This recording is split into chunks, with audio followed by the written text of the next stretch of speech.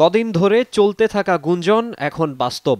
Match fixing এর প্রস্তাব আকসুকে না জানিয়ে আইসিসির নিষেধাজ্ঞায় সাকিব আল হাসান। যদিও বিশ্ব ক্রিকেটের নিয়ন্ত্রক সংস্থার সুনজরেই বিশ্বসেরা অলরাউন্ডার। এবার আর রাগঢাক না রেখে সব স্বীকার করায় তার দুই বছরের নিষেধাজ্ঞা কমিয়ে এক বছর করা হয়েছে। সাকিবের বিরুদ্ধে তিনটি গুরুতর অভিযোগ এনেছে আকসু।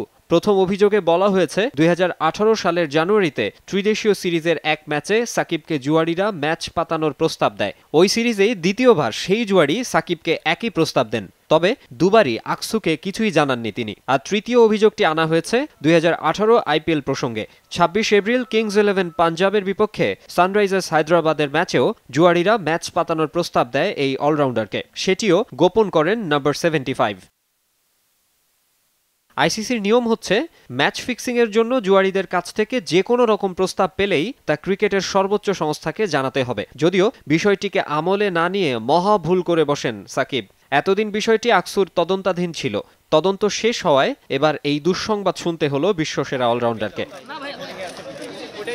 সাকিবের নিষেধাজ্ঞায় ভারত সফরের আগে বিপাকেই পড়তে হলো বাংলাদেশ ক্রিকেট দলকে। তামিম, সাইফুদ্দিনদের পাশাপাশি টাইগার অধিনায়কও ছিটকে যাওয়ায় দেশের ক্রিকেটে নেমে এসেছে ঘোর অন্ধকার। ঠিক এক বছর পর দুই হাজার বিশ সালের উনত্রিশ অক্টোবর শেষ হবে সাকিবের নিষেধাজ্ঞা। দেশের সেরা এই ক্রিকেটারকে ছাড়া মাঝের এই সময়টায় কঠিন চ্যালেঞ্জ অপেক্ষা করছে বাংলাদেশের সামনে। তার বলার অপেক্ষা রাখে না।